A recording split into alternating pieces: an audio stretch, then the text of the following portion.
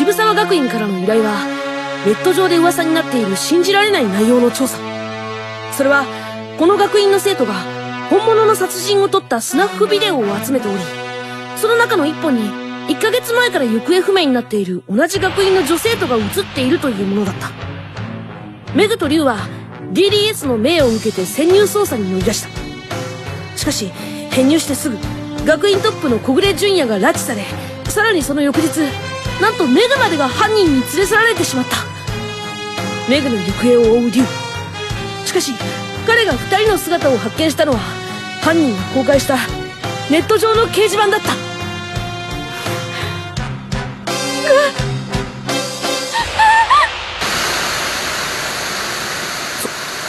そんなバカな。場所はどこだ？時計塔が見えます。天草くん市の校内放送。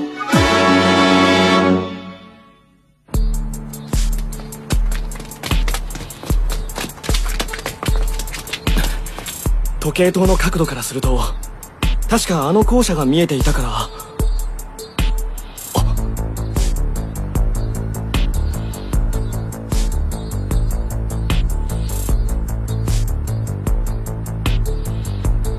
ちょっとこの校舎今は使ってないのよ。いや見てくれ。木は古いのに釘だけは真新しい。最近誰かが抜いて差し替えたんだ。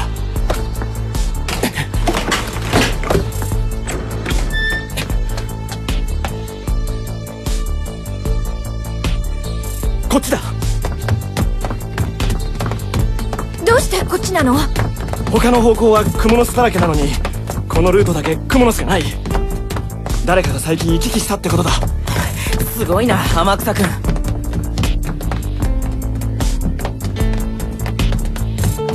ここだ。メグ！しっかりしろ！メグ！生きてる。よかった。メグしっかりしろ！リュウくん。よかった。無事だったんだね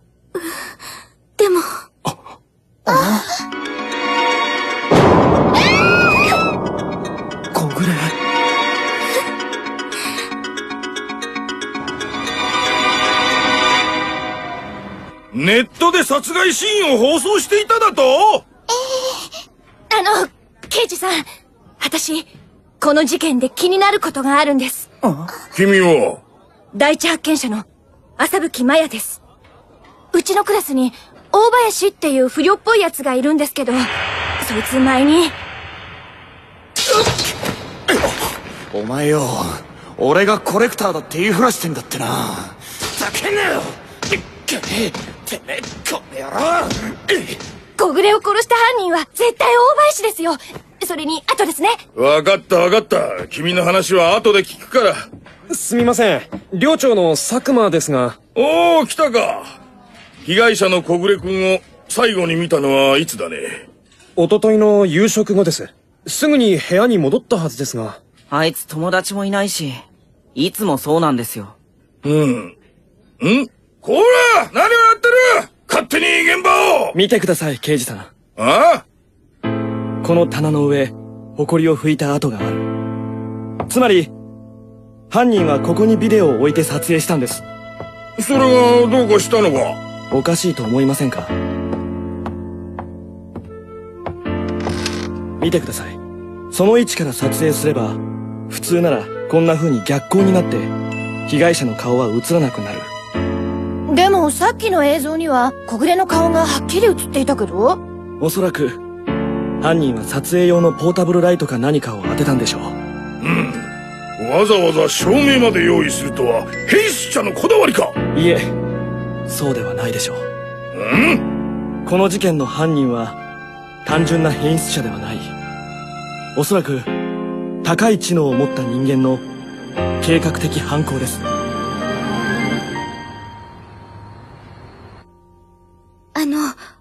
大丈夫だよリュウ君まだ7時半だもうしばらくいるよでもこんなとこ誰かに見られたら誤解されちゃうかもしれないし そんなことないってメグが結成してくれた探偵団のおかげで、一緒にいても怪しまれないしね。いや、そういう意味の怪しいじゃなくて。それに、今夜は眠れそうもない。生徒が一人殺された時に、ひどいと思うかもしれないが、僕はこんな時でも思わずにいられないんだ。謎よ。もっと深まれ。とね。リュウ君。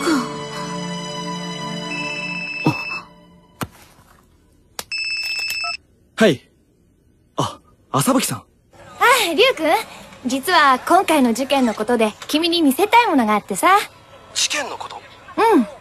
私たち、この高校に入ってまだ半年だけど、殺された小暮のことはもっと前から知っているのよ。っていうのは、小暮は付属の中学の出身なの。私もそうなんだけど、その他に大林とか、東野、富永もそうね。しかも実は、あ、誰か来たみたい。後でかけ直すね。はいなんだ？遅いな、朝吹さん。はい。あ、東野さん。みなみさん、あの、み、見まし。違う違う誤解だってば事件のこと話してただけなんだからどうしたんです？それが、掲示板に変なメッセージが。掲示板に？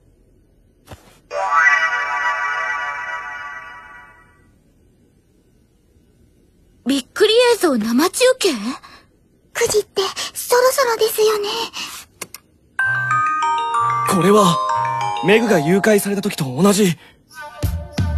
見て、寮の廊下よ。首からカメラを下げて撮影しながら、携帯とノートパソコンで映像を送っているんだわ。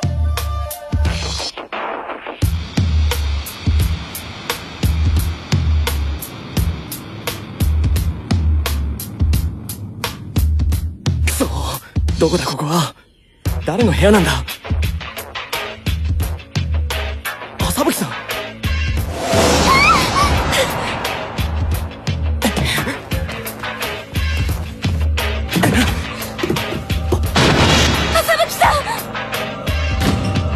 何事です？こんな時間に。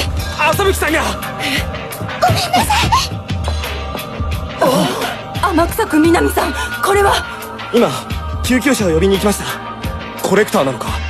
何のために朝吹さんまで？あ、リュウ君実は今回の事件のことで君に見せたいものがあってさ。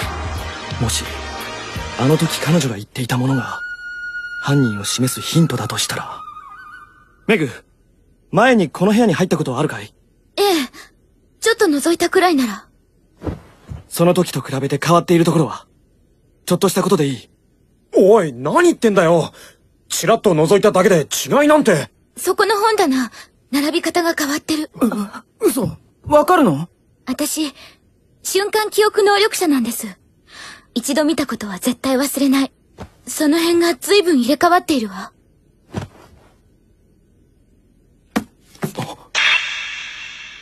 ビデオ？随分たくさんあるわね。君たち警察を呼ぼう。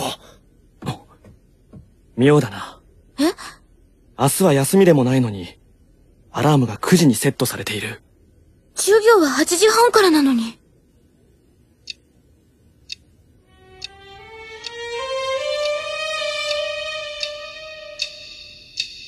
なんてことだ！じゃあ犯人は今度は殺人シーンを生放送したっていうのか？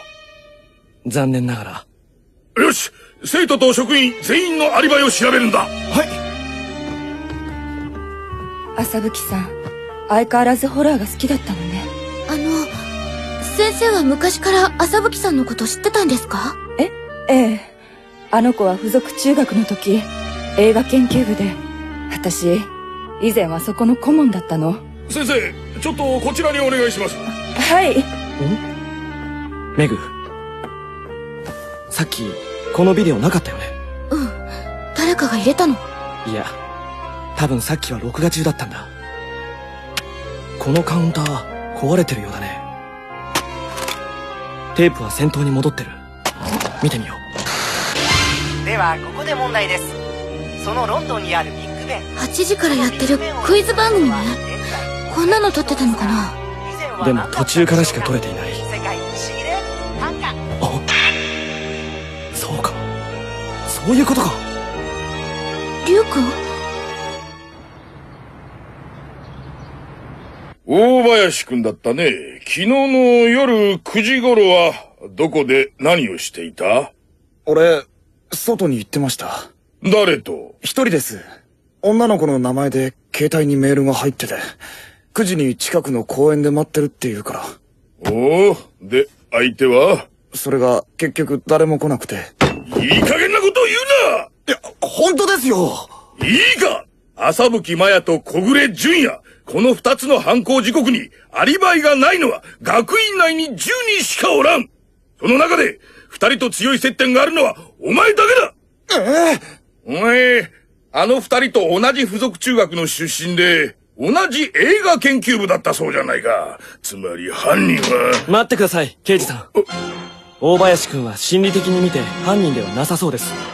なんだまた偉そうに。実は今回の事件にはアリバイトリックがあるんです。何？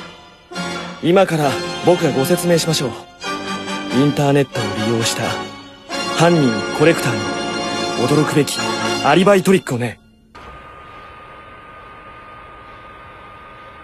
これは昨晩ネットで中継された映像です。よく見てください。彼女は犯人を部屋に招き入れるような動きをしているのがわかりますか？大林君、これは君だろう。君は中学時代から知り合いだった。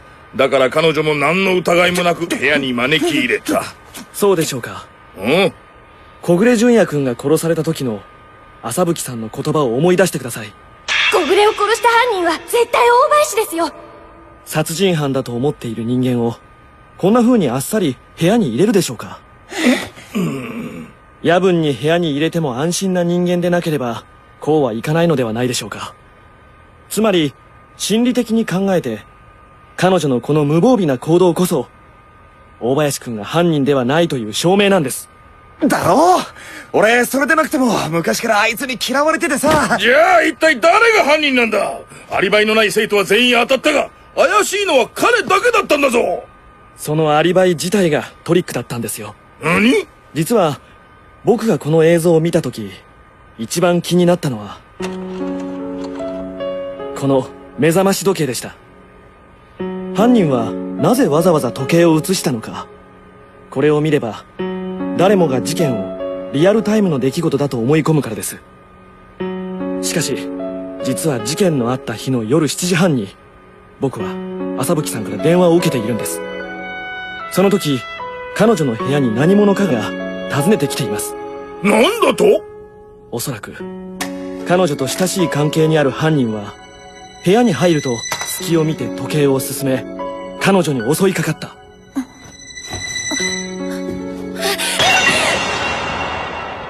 そして9時になるとその一部始終を収めたビデオをネットの掲示板で流した。これが犯人の使ったアリバイトリックです。うん。確かに辻褄は合うが、証拠がないんじゃ、君の想像ということで終わってしまうな。証拠ならあります。何？この時計のアラーム設定を見てください。9時少し前に設定されています。学校は8時半から始まるのにどうして彼女は9時に目覚ましを設定したんだと思いますか？その答えがこれです。ビデオテープ。何が入っているんだ？実は朝吹さんは殺される直前楽しみにしていたある番組を録画しようとしていたんです。ではここで問題です。そのロンドンにあるビッグベンこれ昨日の8時からやってた番組ですよね。ええ。ビデオにはこのクイズ番組が途中から録画されていました。どういうことだ？彼女が本当に撮りたかったのはこの後9時から始まる大好きなホラー映画だったからですだが朝吹さんのビデオデッキはタイマーが壊れていて予約録画ができなかったんです。そこで彼女は9時に目覚まし時計を設定し時間になったら録画ボタンを押そうと考えた。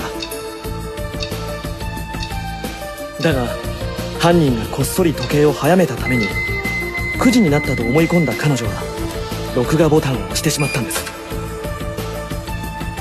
つまりこれは犯人があらかじめ被害者の時計を進めておくことで殺人をリアルタイムの映像に見せかけたアリバイトリックの証拠です。だから夜9時のアリバイは意味をなさないことになる。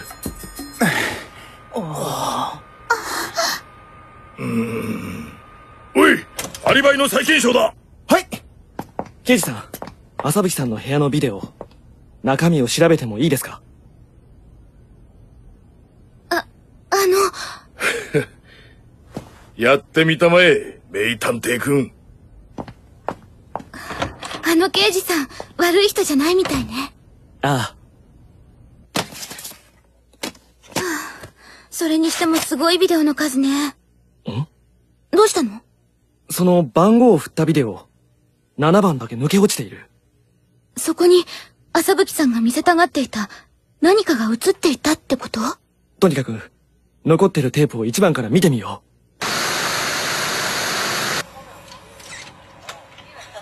これ、朝吹さんが所属してたっていう映画研究会の記録ね。この子、失踪した小倉恵美奈よ。うこれは寮長の佐久間さんと紫先生だ部長と顧問という感じだな殺された小暮くん、朝吹さん。大林くん、富永くん、東野さんも、みんな映画研究会のメンバーだったんだ。どうやら容疑者は絞れてきたな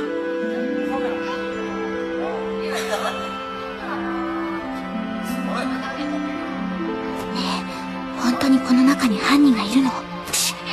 懐かしいわね。ま、この頃とは随分変わった奴もいるけどね。ああ俺のこと言ってんのかよあの頃はみんな仲良かったのに。高校進学とかあると皆ライバルになるからなあの頃は楽しかった。佐久間先輩のお父さんの映画館で私たちの映画を上映してもらったり、小道具の仕事をしている富永君のお父さんに撮影現場を見せてもらったり。そんなことより、事件のことを考えようぜ。そのために集まったんだろあさっきは助かったぜ天草。すんげえ推理だったよな。ああ、まさかビデオに映ってた時計が30分進めてあったなんてな。目覚ましの設定が朝じゃなくて夜の9時だなんて。一応聞きたいんだけどこのナンバー6の次のテープに何が入っていたか知りませんか？そ昔のことだしこんなテープ見るのも初めてだよ。じゃあ何か思い出したら教えてくださいでも一体誰なんだよ犯人は。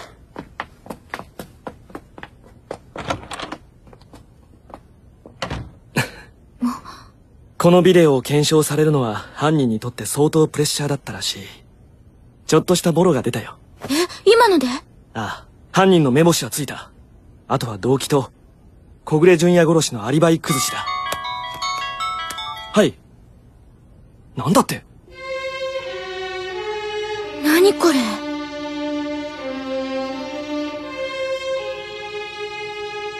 アニメ超うざ、アニメ死んでって感じ。これ、全部小暮くんが書いたの？うん。りゅうくんに頼まれて、渋沢学院のサーバーを見せてもらって分かったんだけどね。でもよ書いてんのはみんな違うやつの名前だぜネットじゃハンドルネーム使い分けて、簡単に一人の人間が大勢の人間のふりをすることができるの。とにかく、最後のところを読んでみてよ。最後？私のことが嫌いなたくさんの皆さんへ、最後のメッセージ。私、自殺します。嘘。ネットのいじめで自殺なんて。ありえない話じゃない。ネットの書き込みだけで恋愛して結婚する人もいるんだ。何？このアニメを中傷してる文章ここローマ字入力して変換し忘れているだろう。それがどうかした？このアニメって名前はアナグラムだったんだ。アナグラム？A N I M E これを逆に入力するとローマ字読みしてごらん。エミナ。あエミナって、小倉恵美奈じゃあ、小倉くんがネットでいじめていたのは、小倉さんだったの？それで彼女は自殺？どうやら動機が見えてきたな。おい何やってるんだ？別に何も。ここは関係者以外入れないんだよ。関係者っていうかやっぱなんだ？どこかで聞いたような声。だな。ちょっと来てもらおうか。あいやあの怪しくなんかないですって。キューあメグで何知り合いなの？いやなんか事件がすごいことになってるって聞いてさ。そんでつい。来てくれたのか。ここが小暮って人が殺された現場か。ああ。犯人は第一の犯行でも必ず何かのアリバイトリックを使ったはずなんだ。だがまだそのトリックが解けない。とにかく入ってみようよ。あご苦労様です。ちょっとちょっと！何がご苦労様だここは立ち入り禁止。もう、そんなに簡単に入れてくれるわけないでしょ？この自由に出たり入ったりできるアリさんが羨ましいよ。アリ？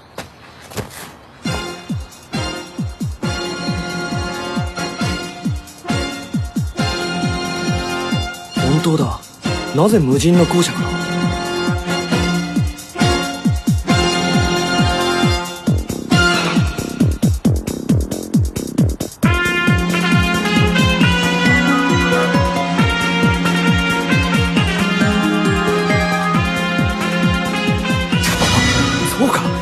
分かったぞ。それは。これが小暮純也殺しのトリックだ